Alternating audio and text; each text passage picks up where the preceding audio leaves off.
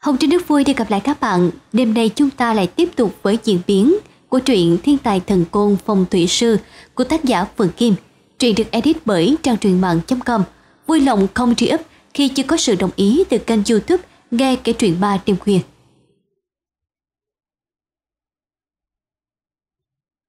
Hôm nay Hà Thược xin nghỉ.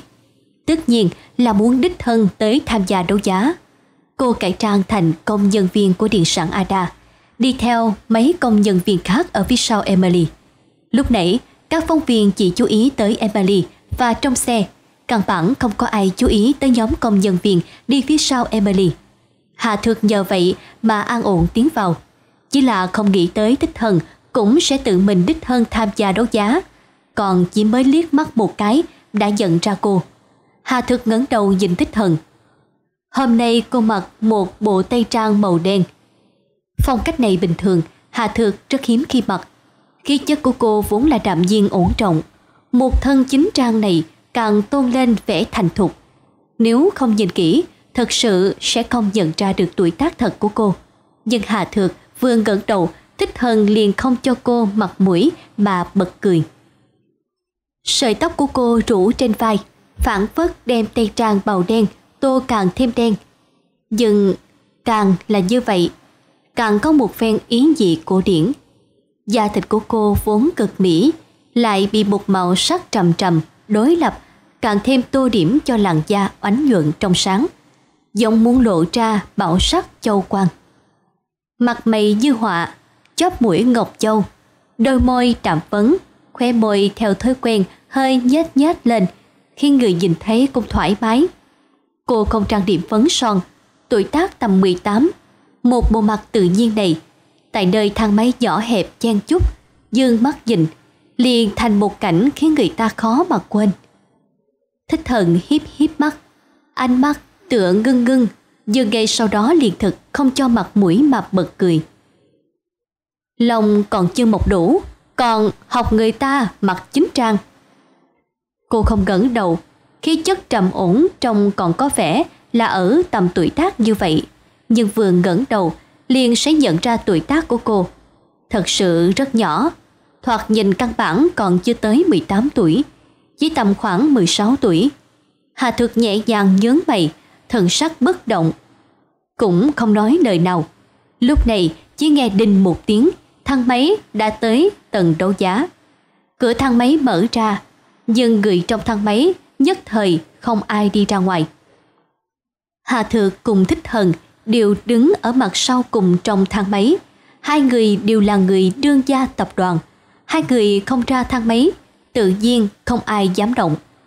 Hà Thược dương mắt nhìn Emily, liếc một cái. Lúc này Emily mới phản ứng lại, dẫn theo người đi ra ngoài. Ánh mắt thích thần dừng ở trên người Hà Thược, liền không rời đi. Hà Thược cũng không kiên dè mà dùng mắt ra hiệu cho Emily. Hôm nay, thích thần tiến đến đây vì cô cải trang đi theo phía sau Emily là đã khiến hắn nghi ngờ. Như vậy cái liếc mắt này cũng không tính là gì. Emily là tổng tài điện sản Ada, từng hợp tác cùng tập đoàn Hoa Hạ ở Thanh Tĩnh, cho nên hai người có nhận thức cũng không hiếm lạ. Thích thần không nhất định sẽ biết quan hệ chân chính của điện sản Ada và tập đoàn Hoa Hạ. Thân phận của Hạ Thược ở Hồng Kông còn chưa có công khai, cho nên cô chỉ có khả năng có thể hợp tác cùng điện sản Ada. Hôm nay giả trang thành nhân viên tùy tùng, cũng chính là vì phương tiện đó, không phải sao? Hà Thược đạm nhiên mỉm cười, mới mặc kệ thích thần. Vì cái hôm nay dì tự mình tiến đến, cũng không để ý tới hắn có phải phát hiện cái gì hay không. Cô đi theo Emily ra ngoài, thích thần lúc này mới điên nhanh ra tới.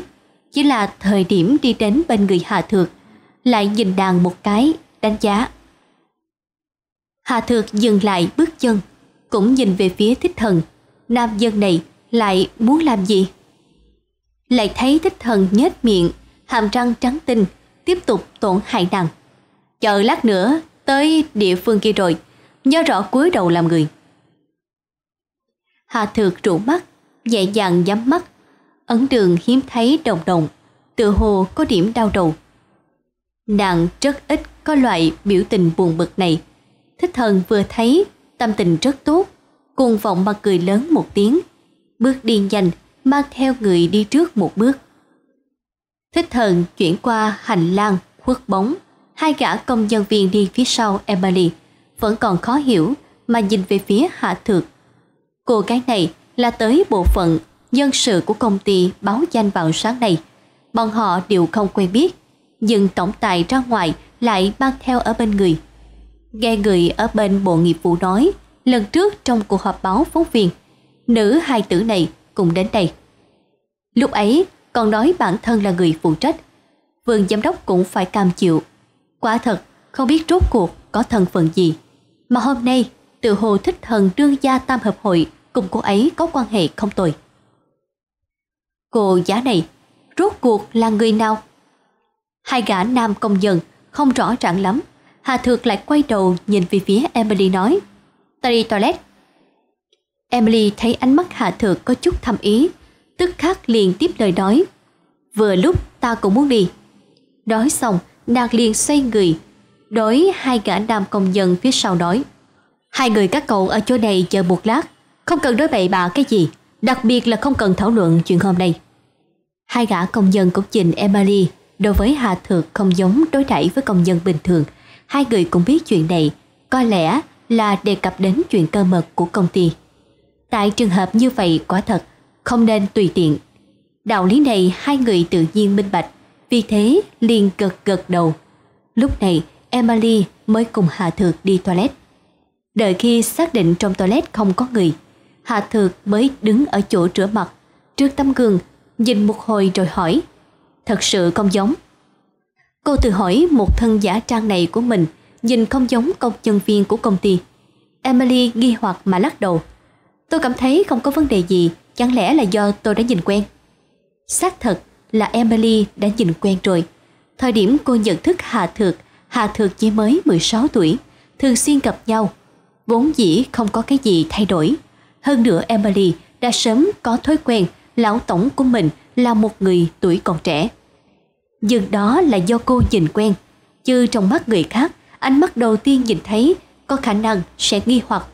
Hà Thược gật đầu. Để ngừa vạn nhất, cô có mang theo đồ trang điểm không? Sáng nay, Hà Thược là ở trường xin nghỉ học rồi trực tiếp đi tới khách sạn phụ cận điện sản Ada. Ở khách sạn thay đổi quần áo, liền vội vàng tới đây. Nhưng thực ra, nếu không phải gặp được thích thần, nghe hắn nhắc nhở, cô còn tưởng mình hóa trang như vậy đã tương đối ổn thỏa. Emily gật đầu. Cô thân là tổng tài công ty, đối với hình tượng tự nhiên là để ý. Mấy cây phấn trang điểm son môi này, tuy không mang theo nhiều, bất quá cũng có một ít. Hà thực lập tức lấy ra, vừa nhìn gương, vừa hóa trang. Kiếp trước, cô cũng từng ở công ty lớn công tác, đối với việc trang điểm là không xa lạ. Hà thực vốn định trang điểm nhẹ, nề hà đồ trang điểm của Emily vất vả, đều có màu sắc tối, nhưng thật ra phù hợp với ý đồ của cô bây giờ. Chỉ trang điểm sơ qua một cái, liền trông có vẻ thành thục, không ít, nhìn già hơn một chút. Emily nhìn nhìn, trong mắt lộ ra chút quái dị. Kỳ thực, Hà Thực rất tốt, trang điểm xong cũng thật đẹp, thậm chí có cảm giác trải qua năm tháng lắng động lại, lặng lặng, mỹ lệ. Chỉ là nhìn không có quen. Nhưng Emily vẫn là gật gật đầu. Hai người nhìn nhau cười, đi ra ngoài toilet. Hai gã nam công dân thấy Hạ Thược ra tới, liếc mắt một cái, liền dừng ở trên gương mặt đã trang điểm của cô. Cả hai đều ngẩn người. Hạ Thược cười hỏi, thoạt nhìn tôi khoảng bao nhiêu tuổi? Hai gã nam dân liếc mắt nhìn nhau một cái, Hạ Thược là tuy còn tuổi trẻ, nhưng khí chất lại trầm ổn. Bởi vậy sáng nay, từ lúc cô đi theo tổng tài tới đây, dọc theo đường đi, hai người cũng chưa dám mở miệng cùng cô nói chuyện. Cô cho người ta cảm giác không dễ thân cận.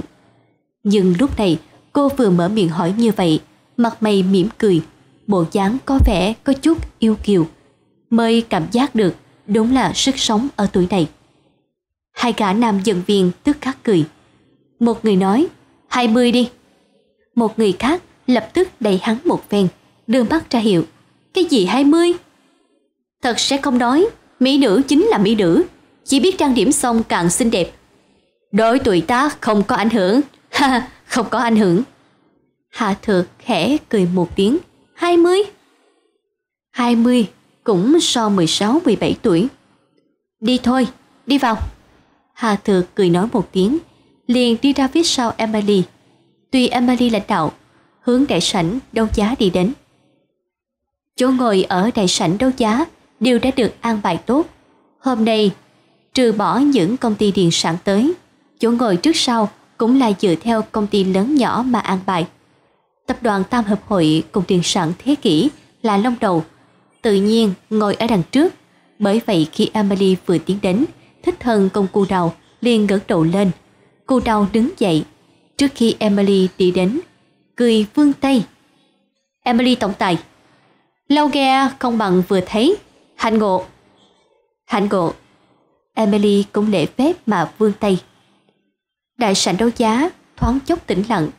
Các công ty điện sản còn lại đều đem ánh mắt ngắm nhìn về phía Emily cùng cù đào. Hai người này từ lúc thu mua tiểu khu Vĩnh Gia xong liền cách hạ thù hận. Thẳng đến hôm nay mới gặp mặt, mà hai người gặp mặt hôm nay cũng chính là tiêu điểm chú ý của giới truyền thông. Bằng không, trận đấu giá lần này cũng không chịu điểm chú ý như thế. Tất cả mọi người đều dựng đổ tay, muốn nghe xem giữa hai người sẽ nói chuyện gì. Cù Đào là một người trong giới thương trường, có tác phong tàn dẫn. Thay dần biểu hiện thập phần thân sĩ, cùng nắm tay Emily cười nói. Tổng tài Emily, tuổi còn trẻ, thương trường chinh chiến nhưng thật ra lão thành. Ta cùng người nào đó đều mắc mưu, thiếu chút nữa té ngã. Hiện tại trong lòng còn sợ hãi. Đối với tổng tài Emily, thật sự là bội phục được ngay. Hôm nay vừa thấy, quả thực là phong thái nữ trung hào kiệt. Cù đầu đem chuyện hắn bị té ngã nói dẫn. Một ít người hiểu biết con người của hắn đều sôi nổi nhìn nhau, biểu tình ngạc nhiên. Emily lại nhẹ nhàng gật đầu, biểu tình nghiêm túc. Cô đổng khách khí, đi sản thế kỷ là long đầu, luận kinh nghiệm thương trường cũng không có ai giống được sự lãnh đạo của cụ đổng. Lời này của Emily nghe tựa như là hàng huyên khen ngợi, nhưng thực tế vừa nghe liền không khỏi cảm thấy có một ý vị khác. Điện sản thế kỷ trong khoảng thời gian này chịu ảnh hưởng từ dèm pha về phong thủy. Cô nói câu kinh nghiệm thương trường, không có ai giống được cụ đổng, có phải hay không có ý vị trào phúng. Cũng chỉ có từng người nghe từng người phẩm. nói chi vậy? Đời sản thế kỷ tuy ở trong giới có chút điểm danh khí, nhưng trong khoảng thời gian này, điện sản Ada cũng không dừng một tức, có thể làm cùng mổ té ngã một cái. Cùng mổ đối với tổng tài Emily chính là bội phục được ngay. Thường trường như chiến trường, kỳ phùng địch thú đều là dân sinh rất may. Nói vậy, buổi đấu giá hôm nay, hai người chúng ta có thể đánh giá một hồi. Quả thực thống khoái. Cô đào như là không nghe hiểu ý tứ trong lời nói của Emily. Chỉ là ngửa đầu, cười lớn một tiếng.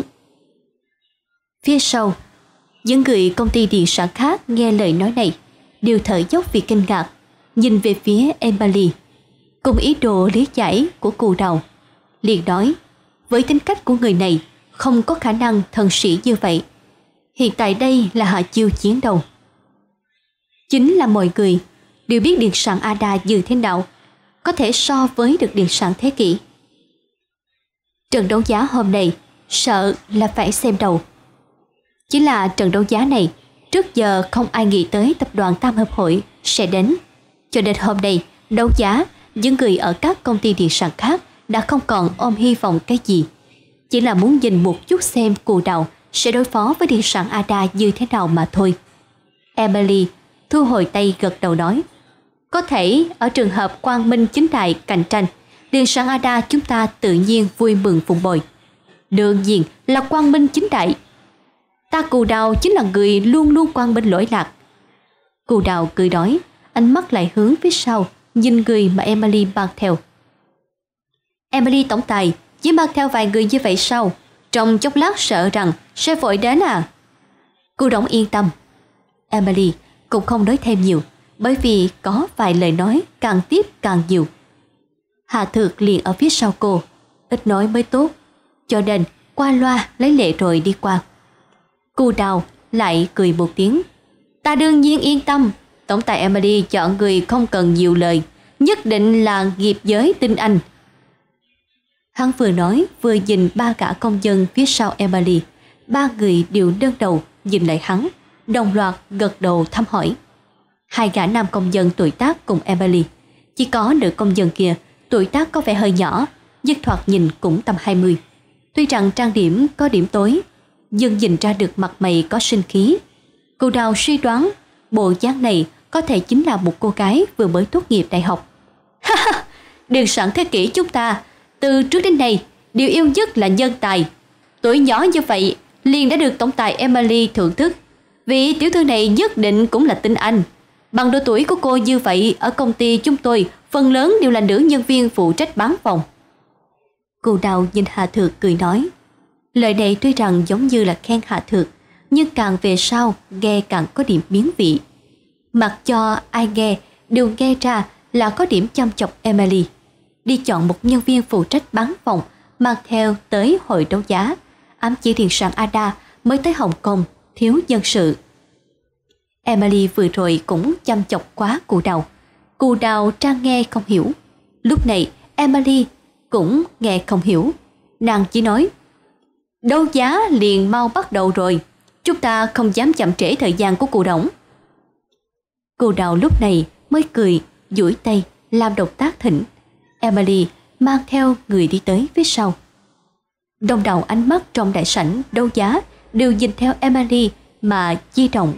Ai cũng không chú ý tới, ngồi đỉnh đặt ở phía trước là thích thần. Khi nghe cầu, nữ nhân viên phụ trách bán phòng, liền tim mặt đơn lên, chớp mắt một cái, mây nhảy dựng, khóe miệng không tự chủ được mà trù trù. Ngay sau đó, hắn đen mặt nhắm mắt lại, một bộ dạng có điểm muốn phát hỏa. Người phụ trách đấu giá an bài chỗ ngồi cho điện sản Ada vẫn là ở ghế dựa phía trước. Bất quá, cách tập đoàn Tam Hợp Hội và điện sản Thế Kỷ hai hàng ghế. Chẳng qua không phải ở phía sau hai người mà là ở vị trí kế cửa sổ. Vị trí này tuy rằng nói tương đối là ở phía trước nhưng vẫn có chút hẻo lánh. Những người ở công ty khác nhìn thấy không ít người đều dễ dàng thở ra. Trong khoảng thời gian này, điện sản Ada quá nổi bật. Phía trước còn từng truyền ra lời đồn rằng Emily cùng người sở địa chính có quan hệ không mấy trong sáng. Nếu hôm nay vị trí an bài lại rõ ràng thiên hướng điện sản Ada, trong lòng của họ sẽ không được cân bằng. Rốt cuộc, điện sản Ada vừa mới tới Hồng Kông không bao lâu, công ty bản địa ít nhiều sẽ có tâm lý chú ý. Hiện tại thoạt nhìn sở địa chính an bài chỗ ngồi, dừng là thiên hướng chiếu cố công ty bản địa. Nhưng kỳ thực, những người này cũng không biết cái chỗ ngồi này là Hạ Thược yêu cầu. Hạ Thược gọi điện cho Trần Đạt, yêu cầu an bài vị trí hẻo lánh một chút. Như vậy, thời điểm đấu giá cô mới có phương tiện cầm cấp Emily chỉ thị. Hai gã nam công dân, một trái một phải, ngồi ở bên người Emily. Hạ Thược thì ngồi ở phía sau. Bốn người vừa ngồi xuống công lầu, liền có người ở địa chính cầm bảng đấu giá tiến vào. Hà Thược không phải không nghĩ tới đem tập đoàn đấu giá Hoa Hạ mở ra ở Hồng Kông. Nhưng bán đấu giá phải chú ý nhân mạch, đặc biệt là cùng chính phủ có quan hệ. Cho nên Hà Thược không sốt ruột. Hiện tại mở ra ở Hồng Kông, khó tránh khỏi cùng đồng hành sẽ có ma sát. Còn phải đi riêng kinh doanh, không bằng chờ sự việc của điện sản Trần Ai lạc định. Thân phận của chính mình được công khai ra ánh sáng lại đem tập đoàn bán đấu giá tới Hồng Kông phát triển. Tới lúc đó, thanh danh, nhân mạch, tài sản đều là nước chảy thành sông, không cần phải đặc biệt lo lắng. Hôm nay, trong hội đấu giá, phải tiến hành bán đấu giá, cũng coi như có điểm quy mô. Dương Trần Đạt thân là địa chính tổng thừa thư, lại không cần tự mình tiến đến. Tiến đến chính là quan viên địa chính, cũng không nhận thức hạ thược. Tên quan viên này vừa thấy thích thần cũng tự mình tới rồi, liền ở phía trên khách khí nói một phen. Đại khái là động viên trình diện các công ty điện sản đấu giá, cảm tạ công ty vì thành thị phát triển mặt công hiến. Chờ hắn nói xong, mới kêu bán đấu giá bắt đầu. Phía sau trên màn hình phóng hình ảnh kiến trúc, bắt đầu bán đấu giá. Cái thứ nhất cũng đã không nhỏ. Mở đầu buổi đấu giá hôm nay chính là khách sạn lớn Khắc Sa Lâm. Này tòa khách sạn bắt đầu xây dựng năm 1933. Lịch sử đã lâu. Khách sạn là do kiến trúc sư trứ danh Quy từ Anh Quốc thiết kế. Năm 1936, Hoàng Công. Nữ vương nước Anh từng đến tòa phòng ở khách sạn này nghỉ ngơi qua đêm. Hồng Kông có ba dặm cạn đốt cũng từng ở chỗ này phát biểu diễn thuyết. Người thừa kế khách sạn thời điểm khi trở về Hồng Kông đã đem khách sạn quyên cấp quốc gia. Hiện tại đã lâu năm không tu sửa, liền tiến hành bán đấu giá. Người bán đấu giá đối với khách sạn lớn các Sa Lầm tiến hành giới thiệu, sau khi giải thích xong mới tiếp tục nói. Phía dưới đem kiến trúc khách sạn lớn các Sa Lầm cùng một vạn mét vuông đất tiến hành đấu giá, nhưng không bao gồm đồ cổ bên trong khách sạn. Gỗ chắc gia cụ, tranh sơn dầu, những thứ này đều thuộc về quốc gia. Giá khởi đầu là 5.000 vạn đô la Hồng Kông. Phía dưới, các công ty điện sản tức khắc cúi đầu tiến hành thảo luận. Cái giá khởi chụp này cũng không tính cao. Hơn nữa, đoạn đường chỗ đó phi thường hảo. Mặc kệ là đó khách sạn tiến hành trùng tu lại một lần nữa buôn bán hay là mời kiến trúc sư thiết kế một lần nữa thiết kế thương nghiệp cao ốc. Này đoạn đường đều sẽ thực tốt. Chẳng qua hôm nay, tập đoàn Tam Hợp và Điện sản Thế Kỷ đều đến, chứ sợ không tới phiên công ty nhỏ bọn họ. Người ở các công ty khác đều sôi nổi dương mắt nhìn về phía người dẫn đầu là Thích Thần, chờ hắn là người đầu tiên kêu giá. Thích Thần đỉnh đạt mà ngồi ở ghế dựa. Kiều chân bắt chéo, hai tay mở rộng, đặt lên ở hai bên ghế dựa sau lưng. Một bộ duyên ngã độc tôn, khí phách thư thái, nhưng hắn cũng không có mở miệng. Người ở các công ty điện sản khác sôi nổi nhìn xem, đây là có ý tứ gì? Không có hứng thú, không thể đi. Mọi người đều biết, tập đoàn Tam Hợp sản xuất chính là về đất đai. Chính là lại khách sạn làm chủ. Khách sạn lầm là khách sạn lớn, rất khó có được. Vì cái gì thích thần không gọi giá. Ha ha, thích tiên sinh, đây là không có hứng thú đối với khách sạn khách sạn lầm. Ở không khí xấu hổ, cô đào quay đầu, cười hỏi thích thần. Cô đào từ trước tới nay là không có nhường cho bất cứ người nào. Nhưng hôm nay, thích thân ở chỗ này, cô đào tự nhiên phải kiên kỵ, phóng mắt mà nhìn. Hôm nay đời đời đều là công ty điện sản, cũng chỉ có hắn là có tư cách cùng thích thần nói một câu. Vì thế, mắt thấy ban đấu giá sự đã nói có thể kêu giá, không khí liền có điểm tệ cắt. Lúc này cù đầu mới mở miệng nói chuyện. Thích thần cười, cũng không nhìn cù đầu, chỉ là khí phách mà ngồi, mắt nhìn phía trước màn hình. Ánh mắt trầm hắt, khiến toàn bộ mọi người nhìn không thấu. Các người đấu giá đi, ta nghe trước. Nghe trước? Này có ý tứ gì? Ánh mắt cù đầu lại hơi hơi đổi, tiếp theo cười. Cũng là kẻ hẹn 5.000 vạn đô la Hồng Kông, còn không đáng để thích tiên sinh ra tay. Kia cụ mổ liền kêu giá trước. Thích thần không tiếng động cười hừ một tiếng, không nói lời nào. Cô đào thấy hắn thật sự không có ý tứ kiều giới, lúc này mới hồ sáu ngàn vạn, bảy ngàn vạn. Lập tức một công ty điện sản khác cũng đi theo kêu giá. Công ty điện sản này cũng không phải có ý tưởng mình sẽ nắm chắc thầu, chỉ là nghe ý tứ cụ đầu, thích đưa ra tự hồ chê giá thấp, vì thế đón ý hùa theo, liền đem bằng giá nâng lên. Ở đây, người mang tâm tư loại này đúng thật là không ít. Lập tức lại có không ít người đi theo tăng giá mà kêu lên. 8 ngàn vạn, 100 triệu. Lúc này, một giọng nói nữ tử mang theo nghiêm túc giỏi giang truyền đến. Người ở đây xoát xoát mà quay đầu nhìn, nhìn về vị trí chỗ cửa sổ hẻo lánh. Người vừa kêu giá đúng là Emily. Thích thần díu nhíu đôi mày đen, quay đầu đi, khoe môi cười lên hứng thú. Ánh mắt của hắn dừng ở chỗ ngồi phía sau Emily. Người khác lại cho rằng hắn đang nhìn Emily. Toàn bộ mọi người đều có chút kinh hãi. Loại này kêu đấu giá 100 triệu bằng giá này khẳng định vẫn là thấp. Sớm hay muộn cũng sẽ có người kêu tới.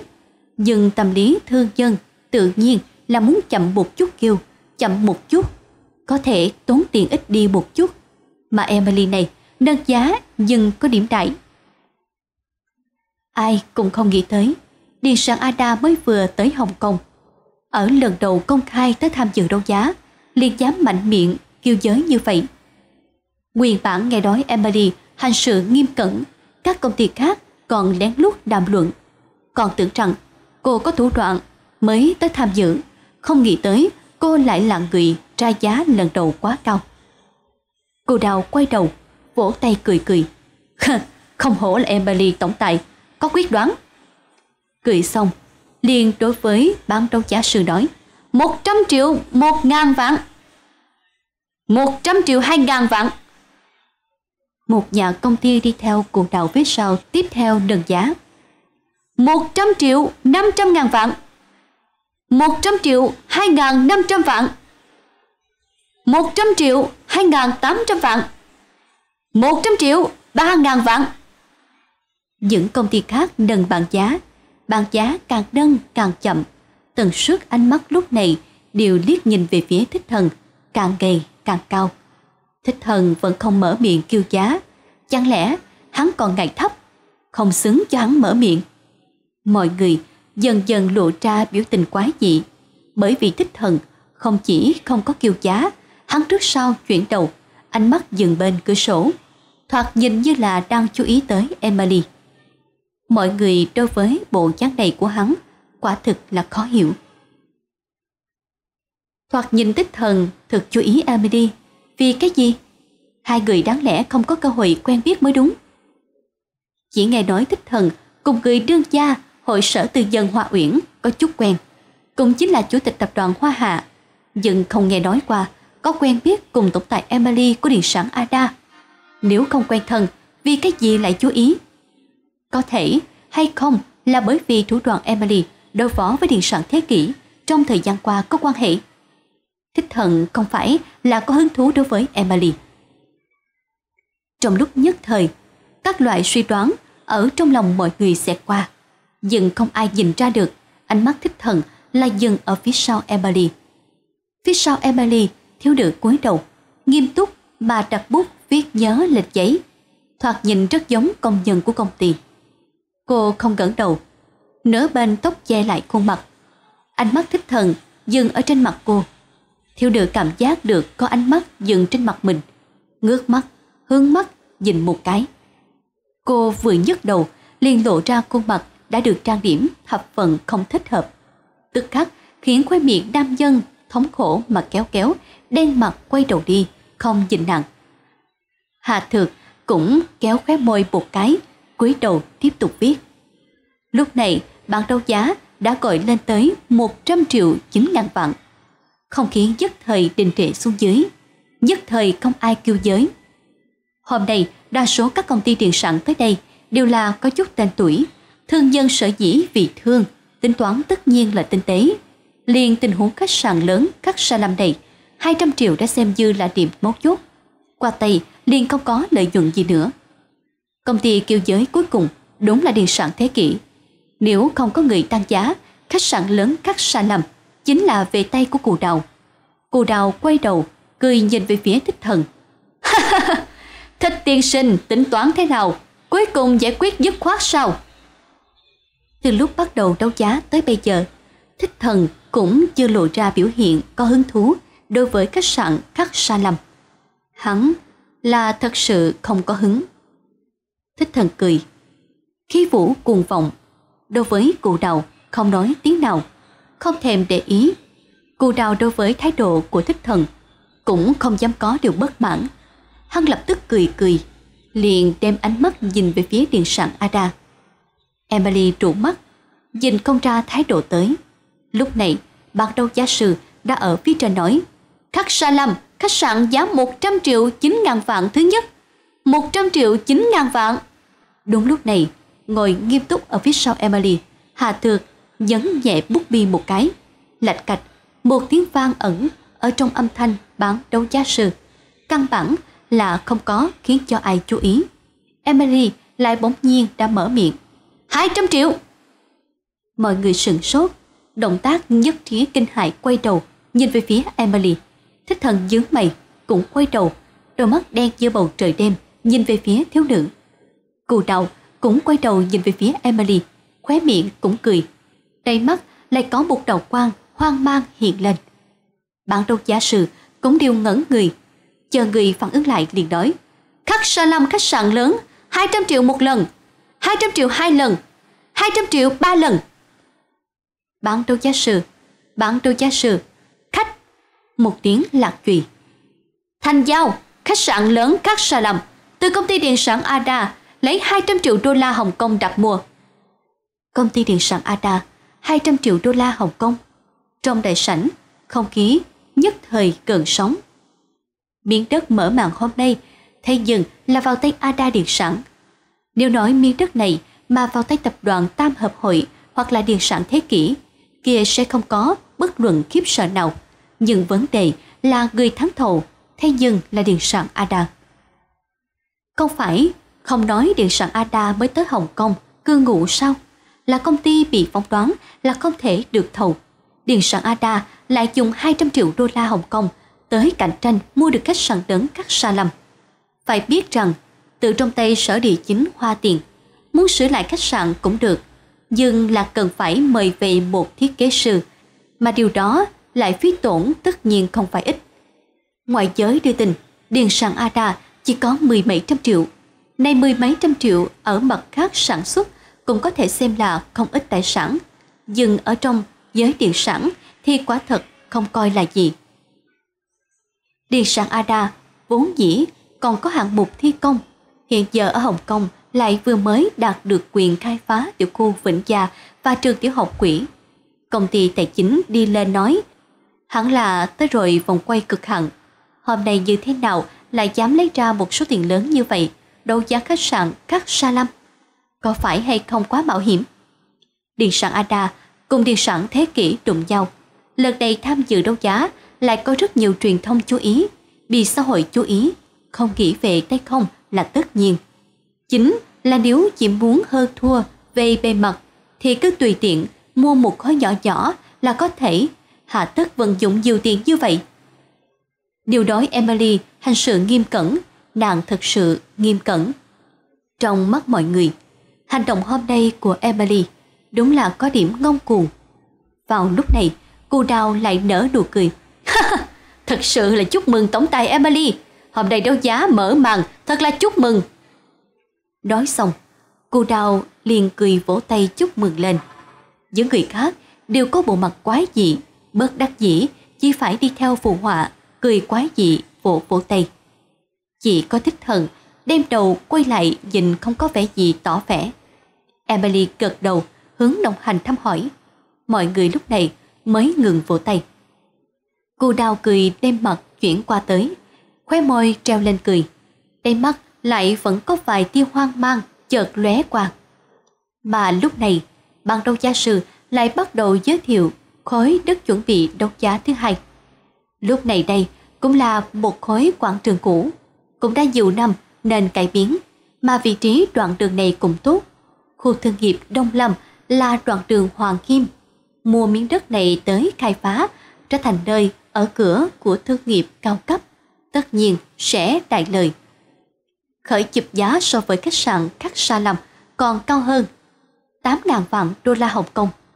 Bạn đô gia sư vừa báo giá, không khí lại là trầm mặc. đông đảo ánh mắt lại hướng tới thích thần cùng cù đào nhìn nhìn. Chỉ là lúc này nhiều thêm một người là Emily. Thích thần vẫn một bộ duyên ngã độc tôn, đến đặt ngồi, chính là không mở miệng kêu giới. cù đào ha hả cười, cũng dùng ánh mắt kỳ quái liếc nhìn thích thần một cái. Đoạn đường này tuy rằng nói có thể kiến thành nơi ở tốt nhất, nhưng nếu làm thành thương nghiệp cao ốc hoặc là khách sạn vẫn có thể không phải đều ở trong phạm vi kinh doanh của tập đoàn Tam Hợp Hội.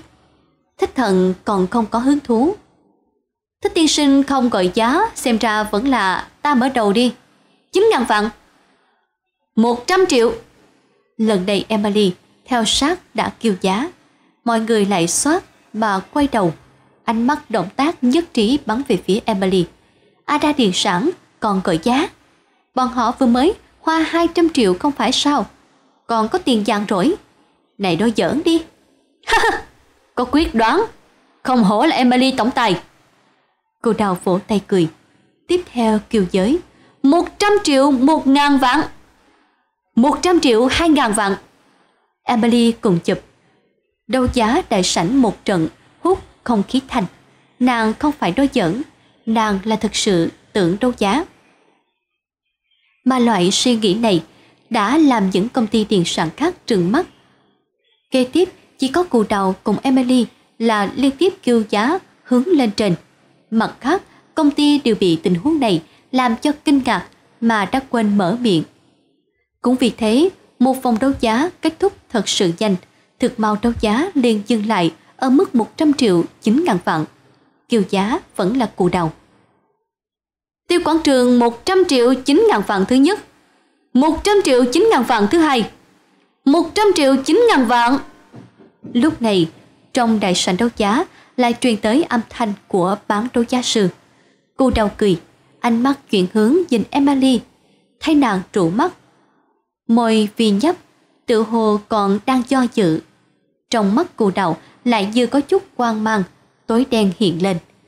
Hắn quá mức chuyên chú vào chuyện Emily rối rắm, lại căng bản không nghe được một đạo âm thanh của bút bi thật nhỏ, tháp nhẹ một tiếng.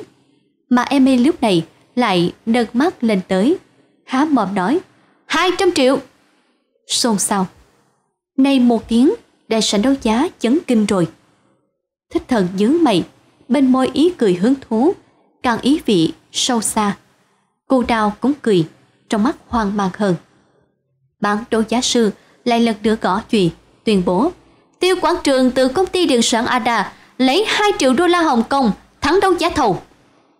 Đấu giá thắng thầu lại là 200 triệu. Này, này, chỉ chớp mắt chính là 400 triệu đô la Hồng Kông à? Những công ty khác lại một vẻ mặt không thể tưởng tượng mà nhìn về phía Emily, nói câu không dễ nghe. 400 triệu, không sai biệt lắm, đã là một phần ba tài sản của Điện sản Ada. Điện sản Ada không có khả năng có 400 triệu quay vòng tài chính. Tài chính không đủ thì phải hướng ngân hàng mượn tiền. Điện sản Ada vừa mới tới Hồng Kông, dân mạch còn không đủ, vậy số tiền lớn kết xu, ngân hàng cũng là phải suy xét tới phương hướng năng lực giải quyết, sẽ không dễ gì được vay tiền với công ty ở bản địa. Này, vậy thì cái người Emily này là đang nghĩ như thế nào? Quý thính giả thân mến, tới đây thì Hồng Trinh xin chào và hẹn gặp lại các bạn ở tập kế tiếp. Chúc các bạn ngủ ngon.